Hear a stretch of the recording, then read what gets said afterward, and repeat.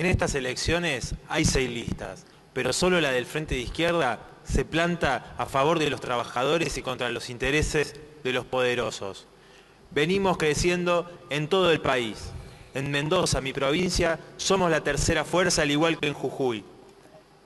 Te pedimos el apoyo para lograr más diputados en el Congreso. La lista que integro junto a mi compañera Miriam Bregman será un claro mensaje, una gran elección del Frente de Izquierda a los poderosos contra el ajuste y el poder. Nosotros, desde el Frente de Izquierda, hemos sido consecuentes en cada lucha de los trabajadores y defendemos y planteamos la recuperación de los sindicatos para el pueblo trabajador y no para los dirigentes actuales. Planteamos que nos acompañes. Gritamos junto a las mujeres, ni una menos, como lo hicieron este año cientos de miles. Estamos en cada lucha del pueblo trabajador. Pedimos que nos apoyes para lograr una gran votación este 25 de octubre. Gracias,